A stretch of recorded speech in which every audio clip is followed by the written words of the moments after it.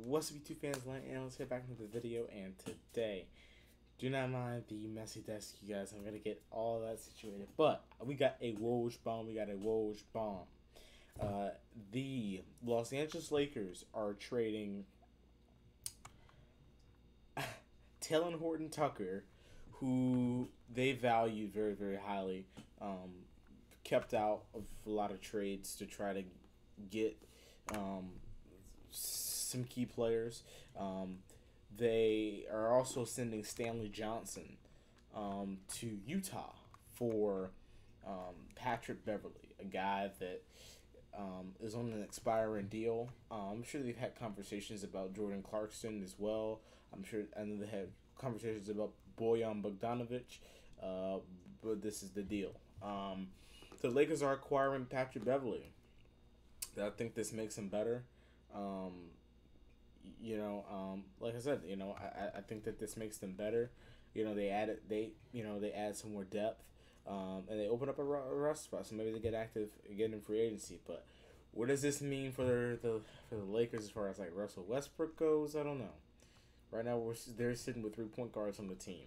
Um, you got, um, I mean, you got a solid, you got an okay solid team. Um, you know, you you've got um, you got Bron, AD, Russ, Patrick Beverley, Lonnie Walker, Kendrick Nunn, Thomas Bryant, Juan Toscano Anderson. So you definitely need to add some more um, before the uh, before training camp starts.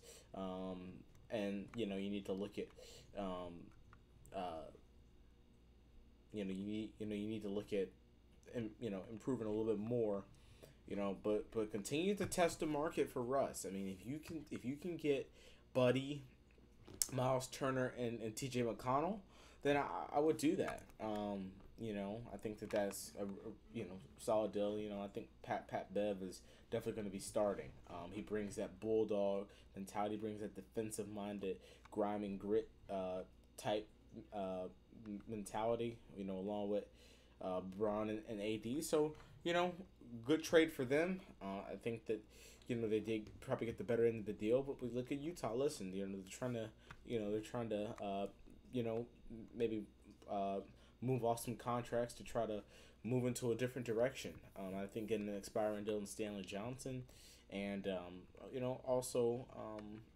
getting Talen Horton Tucker is you know is, is really really good. But that's it for this video, guys. Um, I won't be at this angle again. I just have to. It's it's, it's a mess back there. But uh, I will see you guys in my next video. Thank you all so much for watching. Y'all have a good one.